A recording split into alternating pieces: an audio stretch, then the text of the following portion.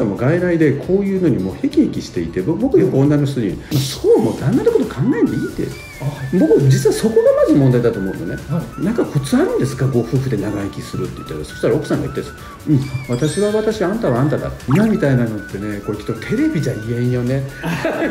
僕の経験でもっと一番ひどかったのはねお寺。お寺がね。皆さんこんにちは。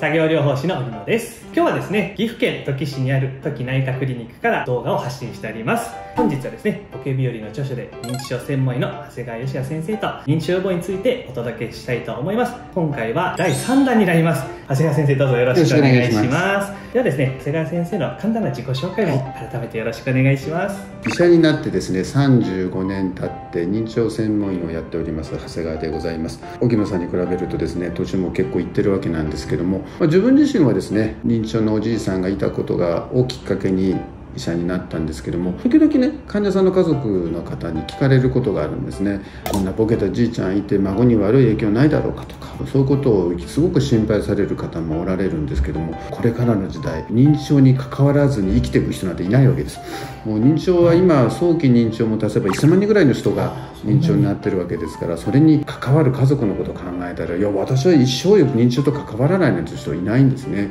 実は僕以前勤務医であの割と高齢者の多い病院に勤務した時にですね向こうの院長に言われたことがあるんですね。長谷川先生はあのお年寄りと暮らしたことありますか？って言われてでいや僕僕はもう一緒に暮らしててまあそれをきっかけに医者になったんですみたいなこと言うともう向こうの院長がすごい喜んでくれて「はあそれはよかった」って。で僕なんでそんな質問するのかなと思って院長に聞聞いたんです。なんでそなんでそんなこと聞くんですかって言ったらもう今核家族だからだからもうお年寄りと接したことないようなお医者さんも結構いる。そうすると結構トラブルになったりすることがあるからもう浅川先生は安心したって。だから、まあ、別に医者の世界だけじゃなくたってもうこれからどこでだってお年寄りだとか認知症の人と接することがどの職種に行ってもあるわけだからまあぜひね認知症のあの方がおじいちゃんおばあちゃんにいる人はですねいっぱい孫に見せてあげてですね、あの経験させてあげるとですねいいんじゃないかなというふうに思っております。ありがとうございます。いや本当に今ですね先生に言っていただいてるんですねやっぱ認知症の方が本当に増えてきていると。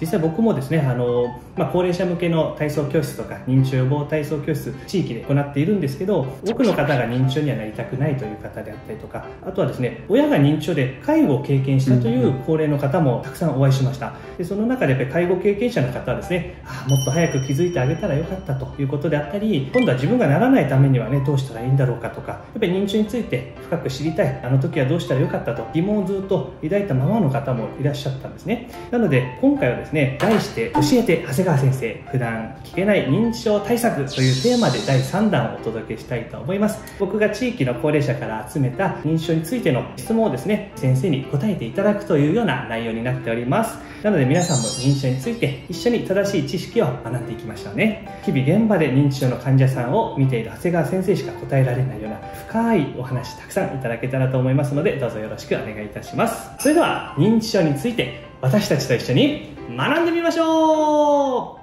それでは先生よろしくお願いします。ではですねその地域の高齢者の方から聞いてきた質問をいくつか先生に聞いていただきたいと思います。1つ目の質問です。75歳女性の方からですね。自分の夫は定年退職後趣味もないためほとんど家にいてたまに買い物についてきてくれたり自分の病院に行くぐらいしか外出しません。このままの生活は認知症まっしぐらでしょうか？男の人はどうやったら認知症予防に取り組んでくれますかというご質問でちょっと同じ男としてですね耳の痛い話になりますが先生これはどうですかね？認知症になりやすいとかそういった生活しちゃってますでしょうか？まず認知症になりやすいし、まあ、だからそのためには、まあ、こうやって今みたいにですねいろいろ誘ったりとかですねするのもとてもいいんだけども視点を変えるとね僕も実はもう外来でこういうのにもへきへきしていて僕よく女の人に「そうもう旦那のこと考えんでいい」って。僕実はそこがまず問題だと思うのね、はい、だってもうちゃんとした成人した男女で男の人が何にもやらないでぼーっとしていてそれに対して奥さんが一生懸命心配してるって。いや奥さんはお母さんじゃないんですよ。だからもう僕がよく言うのはもう奥さんもそう気にするなってそんな旦那のことを気にするよりまずあなたはあなたの人生を生きて楽しくやりゃでそれでその結果としてもし旦那さんが認知症になったら、まあ、しょうがないじゃん。それでもうでもなんか手介護大変だったらもうどっか施設入れりゃいいんだからっていうぐらいにしてます、それぐらいもう周りの人がこう肩の力を抜いたようなですね対応された方がいいと思うしそれこそ僕の患者さんでね90歳超えてお二人とも元気な方がおられて聞いたんですよ。なんかコツあるんですか？ご夫婦で長生きするって言ったら。そしたら奥さんが言ってです。うん。私は私あんたはあんただって言って。なんかいい言葉ですね。なんかねすごい奥深いでしょ。90もう旦那98奥さん95みたいな夫婦なんですけどその人が言うからね。だからもうぜひ質問する人も別に旦那のことをそう気にせんでいいんじゃない？あなたはあなたの人生生きて何かあったら預けやいいじゃんぐらいの感じでい。けばいいんではないかなと思います、なるほどですね。確かにあまりこう神経質になってこれを食べろあれをしろみたいになってると余計になんかギスギスしちゃいそうですよね。ねでも今みたいなのってねこれきっとテレビじゃ言えんよね。テレビで言うともういろいろこう文句きそうだけどもやっぱり YouTube っていいね。ちょっと自由に発信できるという でもこれが真実だと思ってください、はい、なるほどですね、はい確かにそういった現場の生の声も聞けたのでぜひですねちょっとご主人旦那さん心配してる方はそこまで気にせず肩の力を抜いて自分の人生を楽しむぐらいでいいんだなと覚えていただけたらと思います。ではですね2つ目の質問の方に移りたいと思います。2つ目はですね70歳女性より昔母が認知症になりまし認知症になり介護をしました。介護をする前は買い物などできていたけどあれがないこれがないと家を何往復もして準備に時間がかかるようになりました。たまに掃除機の使い方も分からずコンセントを指すだけなのにそれもできなくなり立ち尽くす姿に少しおかしいなと思っていました。最終的にトイレがわからないと失禁していて認知症だと発覚しました。生活ができていてもおかしいと思ったら受診をすべきだったでしょうか？親がなるということは遺伝的に私もなりやすいでしょうかという質問ですね、うんうんちらはどうでしょうか？そうですねあの、まあ、過去を振り返るのはやめときましょうって僕はよく言うんですけど、まあ、ただまあ一般論としてあの早い受診がいいかと言われるとですねやはりまあ今の段階でいくとちょっと物忘れがあるぐらいのところからですねかかっておけば多少ゆっくりになったかもしれない。ただまあ今更振り返るのはやめましょうということで、まあ、ただ皆さんに知っていただきたいのは2回目の時にもお話ししたんですけども早ければ早いほど薬はよく効きますよでなかなかそうやって言ってくれるお医者さんがいないのも事実ですだからもうどうせ飲んでもしょうがないよみたいな態度を取る人もいるんだけどまあ本当うちなんかだと月に1000人ぐらいの認知症患者さん見てるとですねやっぱり早く来ていただいた方が効果はあるっていうのは間違いないと思います。あとこの遺伝的に私がなりやすいっていうのもですね実はあの本当に遺伝遺伝性があるという病気っていうのは例えば子どもさんが4人いたら必ず2人は発症するっていうのを遺伝性があるというのになるんですけども認知症の場合はそこまでの遺伝歴というのは明確なものはないです。はい、ですけどただよくあるじゃないですか。親が胃がんだったから子供も胃がんになったとかね。別に胃がんの遺伝子があって明確になるわけじゃないんだけどやっぱりなんとなくなりやすさっていうのは多少はないわけではないもんですから。だから明確に絶対なるってわけじゃないけど多少なりやすさっていうのはありますよということはだからまあ必ずご家族の家族歴は僕らはお伺いするようにはしてますね。なるほどですね。よくですね認知症と性格とかも関係ありますかという質問もあるんですけど性格が例えばもともと怒りっぽい人が認知症でさらに怒りやすくなったらちょっと性格なのか認知症状なのかわからないっていうそういった方もいるんですけど。そうですね。いわゆるこう物忘れを中心とした段階からある程度進行していくとですね今度性格変化っていうのが出てくるんですね、で性格変化っていうのはすごい面白くてもともと穏やかだった人がものすごいきつくなる。でもともときつかった人がよりきつくなる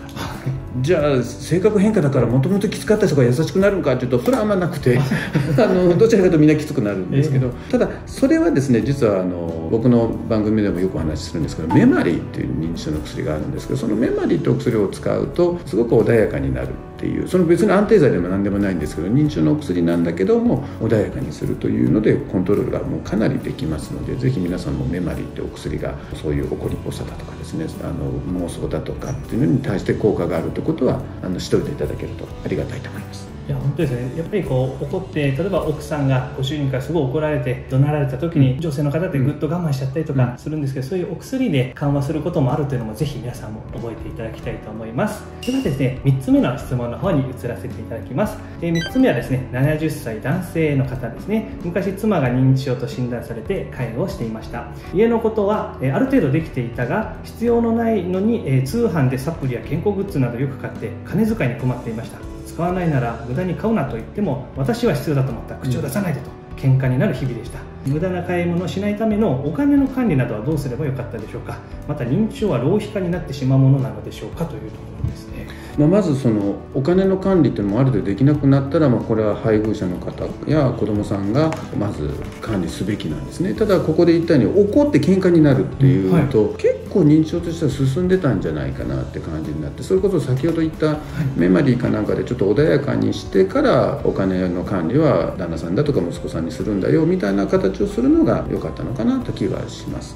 でこの認知症は浪費家になるのでしょうかということ以前にですね認知症になると騙されやすい。ですだからうちの認知症初心で騙されたことはありませんかっていうふうに聞くぐらいみんなむっちゃ騙されます、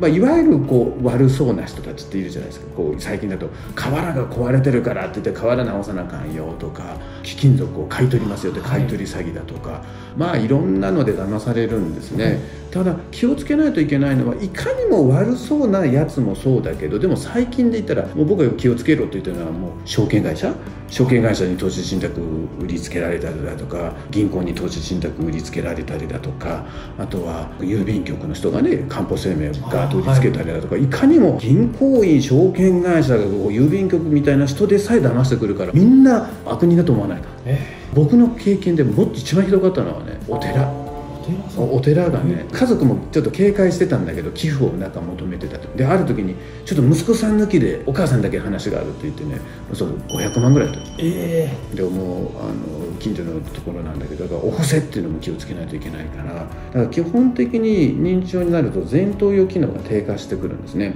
前頭葉機能が低下してくるとどうしてもですねこう無理にこう言われるとですね分かった分かったって感じでこう契約しちゃうことがあるもんですから浪費家になるということもあるんだけども騙されちゃうんだよっていうことの方が多いと思われた方がいいですね。冷静なこう判断とかがやっぱりできなくて、できなくなって。まあいっかってこう反抗しちゃったりとか、ね、買っちゃったりとかするんですね。あなるほどですね。そう考えると家族の方がちょっとお金の管理をしてあげるというところであったり喧嘩になるようでしたら先ほどのメファニーとか、うんうん、ちょっとまず一旦穏やかな状態になっていただいてから話し合いをしてお金の管理どうするかを一緒に決めていただけたらと思いますいやありがとうございます。先生そしたら、もう少しですね、あの質問が来てまして紹介させていただきたいと思います、うんはい、まずですね時代が良くなり新聞を読まなくなりました、字も書かなくなりました。電子決済で買い物など会計での計算もしなくなりました。便利になることで認知症になりやすい社会になっていくのでしょうかというなんかちょっとこう深いような